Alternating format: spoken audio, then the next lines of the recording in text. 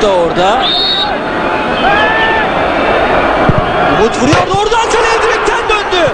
Direkten dönüyor top. Müthiş bir şut. İşte bu serbest vuruşta böyle geri geliyor. Umut Koçin daha önce Arminia Bielefeld'in ikinci takımında oynadı.